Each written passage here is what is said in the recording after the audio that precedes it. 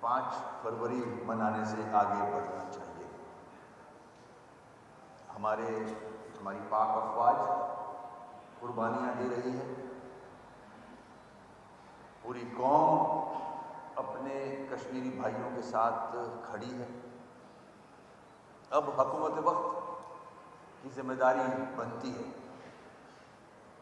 کہ وہ اس ایشو کو اٹھانے کے لیے یونائٹڈ نیشن یا ہمارے جو مسلم ممالک ہیں، ان کے ساتھ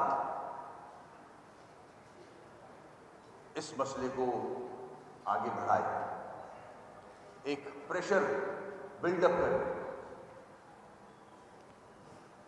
کیونکہ اب جس طرح سے لوگوں کے اندر جوش نظر آ رہا ہے۔ ایسا نہ ہو کہ یہ وقت ہم گوا دیں۔ یہ وقت ہاتھ سے نکل جائے۔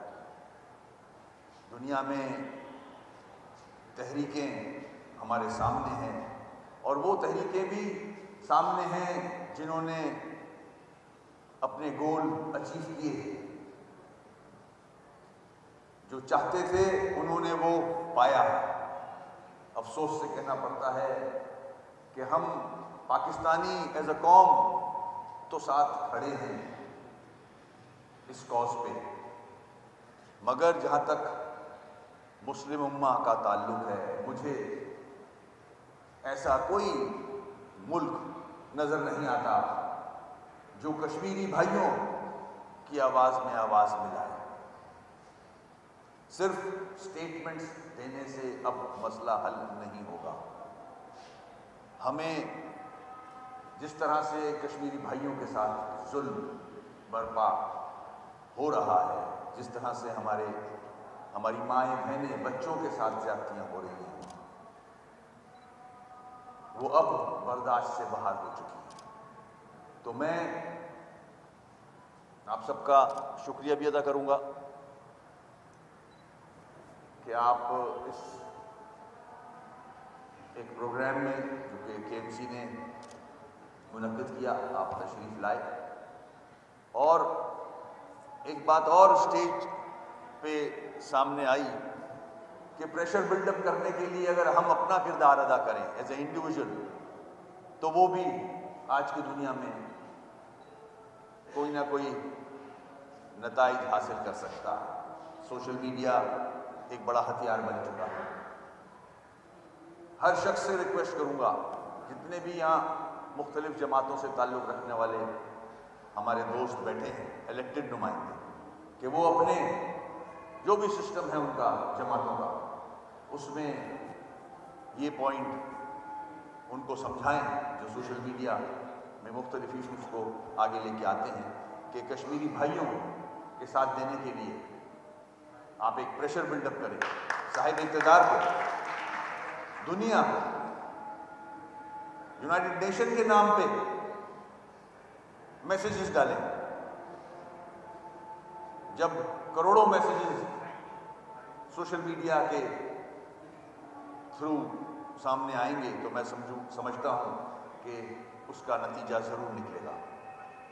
ہم پاک فوج کو اس کی قربانیوں کو سلام پیش کرتے ہیں کہ جس طرح اس ریجن کے سامنے، ہمارے سامنے جو چیلنجز ہیں،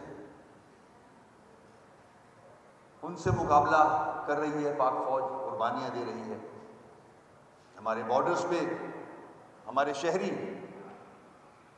ہندوستان کی گولہ باری فائرنگ سے آپ ہر ہفتے دیکھتے ہوں گے، اخبار میں تصویریں چھپی ہوئی ہوتی ہیں کہ دو فوجی شہید ہو گئے، پانچ شہری شہید ہو گئے۔ تو یہ کب تک